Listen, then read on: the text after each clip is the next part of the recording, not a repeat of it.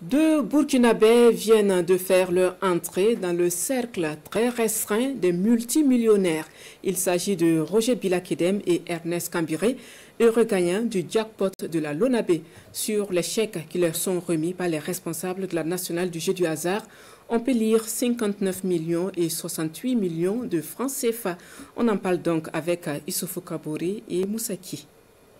Bila Roger Kedem, mécanicien à la retraite rentre ainsi en possession de son chèque d'environ 60 millions de francs CFA. À sa suite, un autre heureux gagnant du jeu de hasard, Ernest Cambiré, fonctionnaire de son État, répare avec un chèque de plus de 68 millions de francs CFA. Des désormais millionnaires de la loterie nationale du Burkina qui ont déjà des projets en tête. Eh ben, c'est pas simple. La joie, on ne peut pas quantifier ni, je sais pas moi, peser la joie comme ça mais on ressent qu'on euh, est satisfait de quelque chose.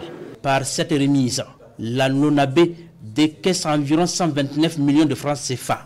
L'occasion donc pour les responsables de la structure de montrer la preuve de leur engagement pour le bien-être de ses clients. Ils saisissent l'opportunité pour appeler les populations à avoir confiance aux produits de la Lonabé.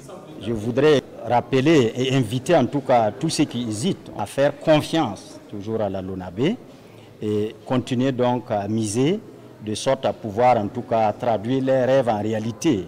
Nous, à notre niveau, nous ne ménagerons aucun effort pour faire en sorte que les produits soient de qualité et qu'on puisse développer et innover donc euh, dans le sens donc de la satisfaction de la clientèle. Ernest Cambiré a gagné le 3 juillet 2024 la bonne combinaison en ordre du 4 plus 1 et Billa Roger Kedem l'ordre du 14 juillet dernier. Les deux millionnaires de la Lonabé ont misé chacun la somme de 300 francs CFA.